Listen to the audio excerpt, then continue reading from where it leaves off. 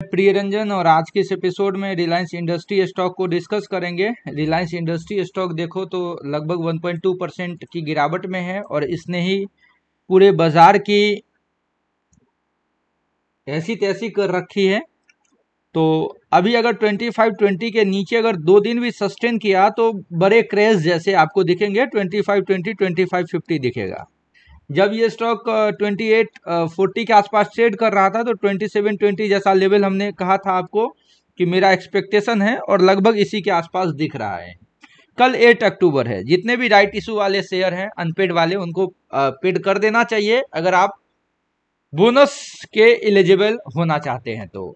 यहाँ देखें तो पूरा बाज़ार में ही सेवियर सेलिंग रहा है और इस समय मेरे प्रीमियम टेलीग्राम को भी ज्वाइन कर लो। पूरा अपडेट अगर बाज़ार के अंदर अगर आपको चाहिए तो ये टेलीग्राम के बिना आप अपडेट नहीं पा सकते हैं।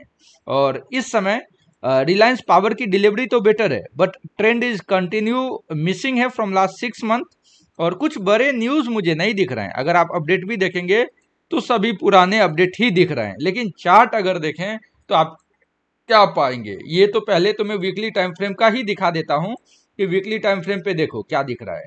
पहले हमको क्या दिखा कि ये एक जो ट्रेंड लाइन है, ये ट्रेंड लाइन इसने ब्रेक डाउन किया। क्या किया? इस ट्रेंड लाइन को इसने ब्रेक डाउन किया, जो कि सपोर्ट कंटिन्यूस हो रहा था हायर हाई हायर लो में। और जब इसने ब्रेक डाउन करा तो 50 डेमा 2840 का सपोर्ट होना चाहिए था, लेकिन वो नहीं हुआ। और हमने क्या कहा? ये एक सपोर्ट है। अब यहाँ से रिट्रेसमेंट के बाद का जो ब्रेकडाउन है, वो 25 50 भी दिखा सकता है। अगर आप लॉन्ग चाहते हैं तो ऊपर नहीं बहुत ज़्यादा तो मिनिमम 27 90 28000 एक रेजिस्टेंस होगा। तो 2800 के ऊपर का जब तक ट्रेंड नहीं दिखे रिवर्सल तो एक्सपेक्ट करना ही नहीं है। आप बिल्कुल बिल्कुल फंसेंगे।